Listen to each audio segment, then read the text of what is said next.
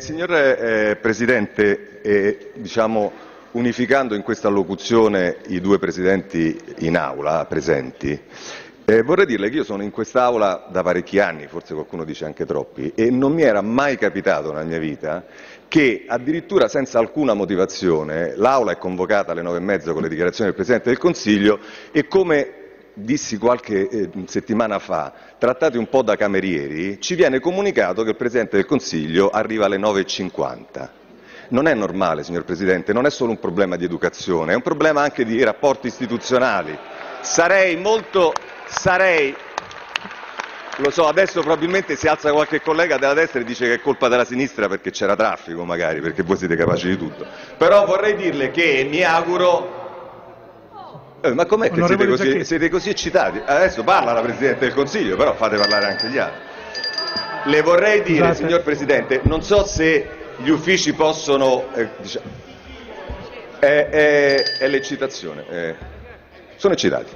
Eh, vorrei dirle, signor Presidente, che eh, mi auguro che io posso anche, se, se, se, se, questo eccitamento aumenta, io posso anche continuare, posso andare avanti così anche per 40 minuti, come volete. Onorevole Giacchetti. Eh, sì, Presidente, le volevo chiedere semplicemente se lei mi può aiutare con i precedenti degli uffici e farmi sapere se negli ultimi vent'anni è mai accaduto che la Camera, convocata alle nove e mezza con tutti quanti per le dichiarazioni del Presidente del Consiglio, viene rinviata senza una motivazione di 20 minuti perché il Presidente del Consiglio non è in aula.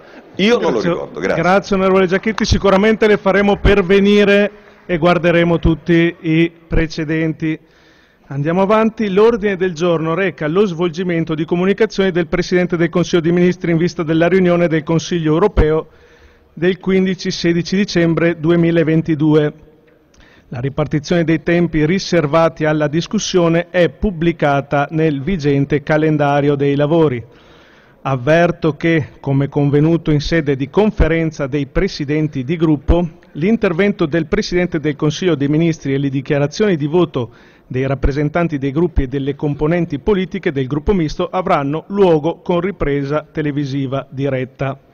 Ha facoltà di parlare il Presidente del Consiglio dei Ministri, Giorgia Meloni. Signor Presidente, onorevoli colleghi, intanto mi scuso con il collega Giachetti e con l'Aula perché sono stata io a chiedere al Presidente di rinviare eh, l'inizio della discussione non diremo ovviamente che è colpa di qualcuno, ma per un motivo oggettivo di traffico che non mi consentiva di arrivare in tempo, non avevo previsto quello che ho trovato stamattina e quindi mi scuso con voi e vi ringrazio per la vostra pazienza.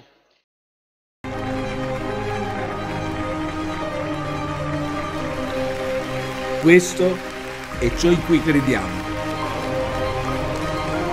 Questo è ciò che siamo.